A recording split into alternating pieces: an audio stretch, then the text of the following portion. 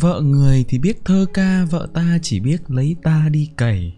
Đó là câu nói mà một người bạn cũ có nói với tôi trên bảng nhậu. Anh nói bằng một đôi mắt biết cười rồi tô điểm cho hai câu thơ bằng tiếng cười hào sảng của anh. Dưới ánh đèn mờ của đường phố Hà Nội lúc về đêm, tôi đã nhìn thấy tất cả những nhọc nhằn sóng gió của cuộc đời hiện rõ trên gương mặt khắc khổ ấy. Nhìn anh, đố ai biết anh mới bước vào tuổi 30 đấy. Không, anh không chơi ma túy, cũng chẳng dính vào bất cứ tệ nạn nào. Cái sai của anh là lấy vợ sớm. Tôi nhớ lần đầu gặp anh tôi ấn tượng lắm với hình tượng chàng thanh niên trẻ trung, chàng đầy sức sống, với một tâm hồn rộn rã tiếng chim.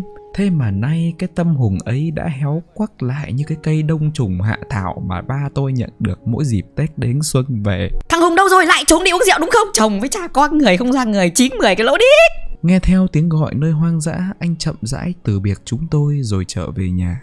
Tôi và Bi cứ dõi theo cái bóng lưng khắc khổ ấy cứ xa dần, xa dần. Cho đến khi nhỏ bằng con chó thì chúng tôi mới quay lại bảng nhậu. Tôi tự hỏi liệu bên trong cái tâm hồn đã héo úa vì đọa đầy đấy liệu có còn định nghĩa về tình yêu không? Liệu lễ cưới là kết quả của một tình yêu đẹp hay là tai nạn của những suy nghĩ bồng bột lúc trẻ trung? Quá nhiều câu hỏi không thể giải đáp, tôi và Bi quyết định sẽ lên đường, quay một đoạn phim tư liệu với chủ đề tình yêu để giải đáp những thắc mắc của mình. Vậy là đoàn chúng tôi khởi hành tới con phố sầm uất bậc nhất Hà Thành để tìm người phỏng vấn. Này cháu, cháu biết tình yêu là gì không? Nó là thứ đẹp nhất trên đời ạ. Liên, 18 tuổi, chưa một mảnh tình vác vai, mắc bệnh ảo tưởng. Đó là tình yêu trong mắt người chưa từng trải. Thế còn trong mắt người từng trải thì sao? Tôi và Bi có liên hệ được với một fuckboy nổi tiếng ở đất Hà Thành. Người vừa mới chỉ chập chững bước vào tuổi đôi mươi nhưng đã gây được tiếng vang lớn trong cộng đồng Tinder. Với biệt danh là chơi xong đi. Chào em, quan điểm của em về phụ nữ là gì? Mẹ em dạy phải nâng niu phụ nữ như cách ta nâng niu những bữa ăn của mình. Nhưng rất tiếc, em là một người sành ăn. Và một người sành ăn thì không bao giờ ăn một món quá hai lần. Một con người thật phong cách. Nhưng để chắc chắn hơn với kết quả mình thu được, chúng tôi quyết định sẽ chuyển địa điểm tới một làng nghề truyền thống tọa lạc trên đường Trần Duy Hưng. Lọt vào mắt xanh của chúng tôi là một cô đào nổi tiếng với nhiều năm kinh nghiệm trong ngành công nghiệp không khói này. Chào em, quan điểm về tình yêu của em là gì? Hoa rơi cửa Phật Vạn sự tùy duyên anh ạ Liệu tiền có thể thay đổi quan điểm của em chứ? Hữu duyên vô phận Một quật năm lốp ạ Vậy là tình yêu cũng có cái giá của nó. Thế mẫu người mà đại đa số các bạn nữ thích là gì? Này em, mẫu đàn ông của em là gì?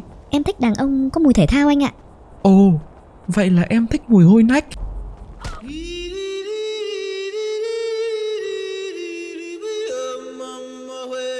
Chào bạn, mẫu người đàn ông lý tưởng của bạn là gì? Đẹp trai ạ Phải tâm lý nữa Một chút tinh tế thì sao nhỉ Mẹ bọn nghiệp dơ Tất cả những cái trên có quan trọng không Nếu anh ấy đánh rắm ra mùi chả neo chứ Chín người thì 10 ý, vậy cánh đàn ông thì sao?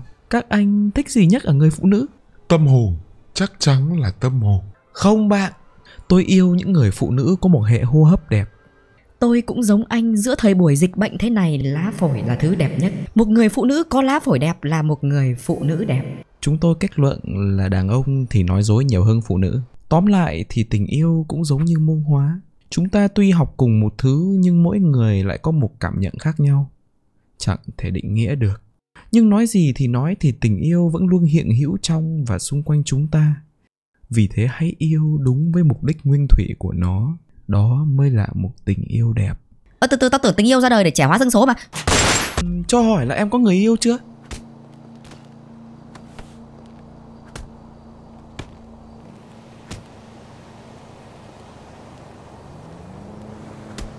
Các bạn tưởng là đã hết video rồi đúng không? Chào mừng đến với chương trình cuối mỗi video. Tôi gọi đó là comment đi và bạn sẽ lên TV someday. Nơi mà tôi sẽ trả lời câu hỏi của các bạn. Ok, câu hỏi đầu tiên của Wang Ji.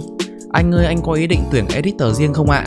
Em đang được chứng kiến cách một công ty trách nhiệm hữu hạn một thành viên hoạt động nha. Anh xin tự giới thiệu anh làm giám đốc kiêm bảo vệ, đạo diễn kiêm quay phim, tiện làm luôn cả diễn viên với editor nha. Nhân viên sẽ không thể làm em thất vọng nếu như em chính là nhân viên không?